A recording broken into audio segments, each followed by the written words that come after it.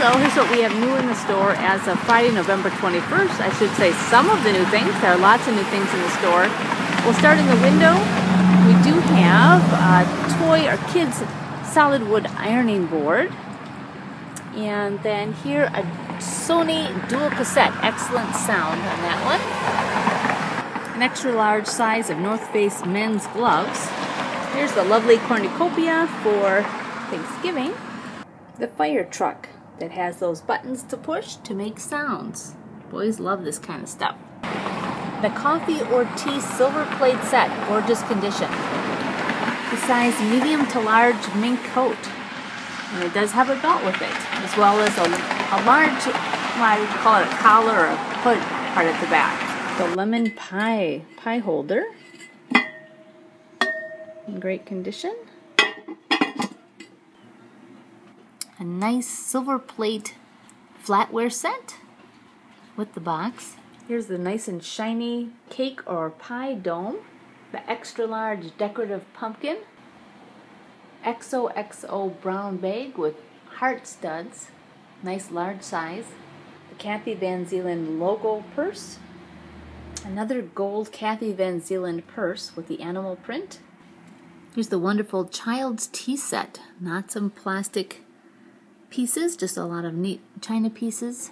A classic Nine and Company brown purse with two handles. The wooden hall tree with mirrors. An elegant coffee decanter or server or warmer, a retro set called Orange Spice, picture and the pedestal, the quote unquote stained glass Christmas nativity, not positive it is glass, although it is heavy. Here's the one chandelier, obviously in a laying down position, works well, been tested. And then the elegant modern plant holder, or I'm sure it has other uses. And then up here we have the modern chandelier. Looks like something out of the Home and Garden TV channel. Less than a year old, works well. And below the Kathy Van Zeeland purse with the very nice blingy um, fancy buckles. Kawasaki child's guitar. Here's the Ethan Allen tea cart. And the handle, uh, you just push that little latch there, it will actually fold down and it will lay flat against or sit flat against a wall. Warm, soft, and furry, made in Italy men's coat. The new Mikasa bowl. Nine West mini purse and it has a wallet in the back.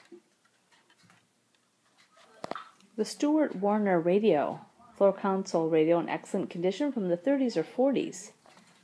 Nice large sized Ellie purse. Ever popular made in the United States leather hat, like Indiana Jones or like a cowboy. Lastly, the non-stick roasting pan with rack.